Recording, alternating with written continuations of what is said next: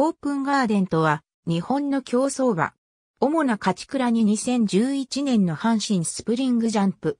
2007年1月14日、中山競馬場での3歳新馬戦でデビューし、12着。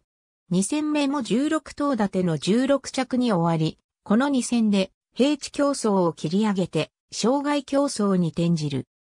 7月21日の新潟競馬場での障害、未勝利戦は、進路妨害にあって、競争中止に終わり、2007年中は3着以内にも入らなかったが、2008年の初戦2着、2戦目3着の後、一戦挟んで4月京都競馬場での障害、未勝利戦でトータルの初勝利を挙げた。障害オープン6着を経て、出走の東京ハイジャンプでも3着に入るが、その後しばらくは3着以内に入らない競馬を重ねた。後、2009年のペガサスジャンプステークスで2勝目。中山グランドジャンプ3着、東京ジャンプステークス2着と参戦して上位に入る成績を残した。秋は、はじめ2戦は10着、8着だったものの、中山大障害では、キングジョイの3着。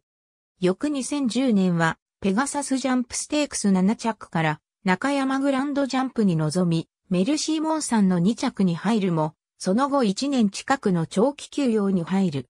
2011年2月限りで管理していた、郷原博之が定年で引退し、菊沢隆則厩舎に、天馬屋。天馬屋初戦かつ、約11ヶ月ぶりの出走となった阪神スプリングジャンプでは、テーム突破ずれを下して、重賞初制覇、菊沢も、この勝利が管理馬の初勝利となった。中山グランドジャンプでは4着に終わり、その後は出走なく1年以上の休養を経て2012年7月25日付で、日本中央競馬会の競走馬登録を抹消され、引退した。引退後は乗馬となり、富山県でのつなぎ用を経て、千葉県にある乗馬クラブクレイン千葉に移り、菜の花と改名して、つなぎ用されている。以下の内容は、ジャビスサーチ、netkeiba.com に基づく。障害戦は平均1回。ありがとうございます。